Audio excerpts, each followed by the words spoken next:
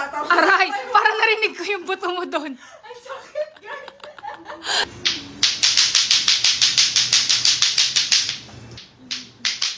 Aray! Ay, sakit. Ay, perfect! Ay, perfect! Ano pinapanood mo? Galing yan ah. Bata.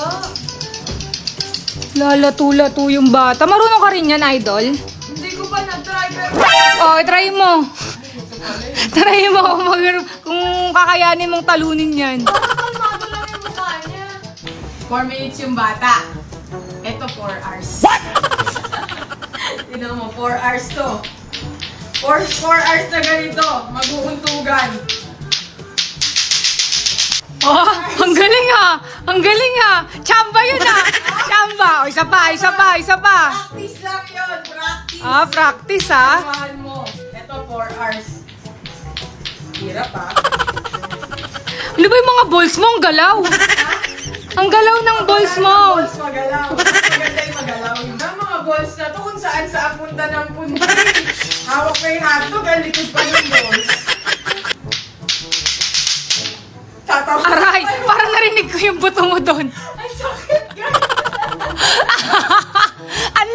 Ah. Tingnan. Ang laki. Ah, tingnan mo. Teka lang. Kailangan mo ma-achieve yung 4 hours. Aray!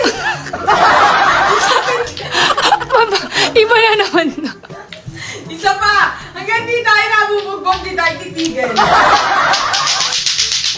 Ay, perfect! Ay, perfect! Practice lang yun, practice. Practice! Ang sakit ha. Ang sakit pala ng mga balls. Dapat inaayos kasi to. Ito yung usong-usong laro ngayon ang tinatawag natin lato-lato o lato-lato. Ah, alam ko na! Anong technique dyan? May technique dito. Dapat steady lang yung balls. Hindi dapat malikot yung balls nyo. Steady lang yung dalawang balls.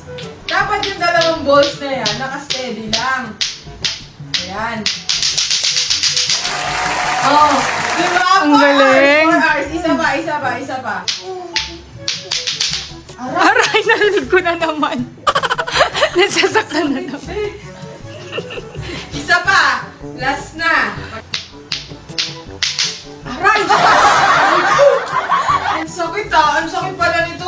Yung mga bata na mga maliliit, huwag niyong paglalaroin ito kasi mga idol, deli- delikado pala. Lalo na pagka tumama sa mukha to, ang sakit nito.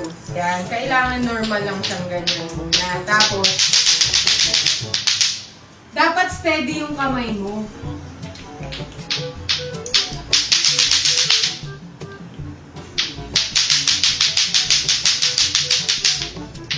Ayun, dapat ganon!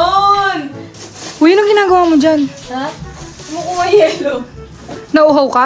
Hindi. Nalagyan ko to magait. Hindi pa sana. Asa ba iba? Ito iba. Sakit girl. Dapat yung mga maglalaro nito, lalo mga bata, meron silang parang ano, cover ng kamay. Kasi hindi biro. Namamaga talaga siya literal. Nagpasa siya. Legit. So, beware sa mga may anak dyan na maliliit. Huwag niyo pong paglaruin ng lato-lato. Kasi, kasi pwede pong tamaan yung mga mukha nila. Hindi biro yung lato-lato. Masakit po talaga. Legit.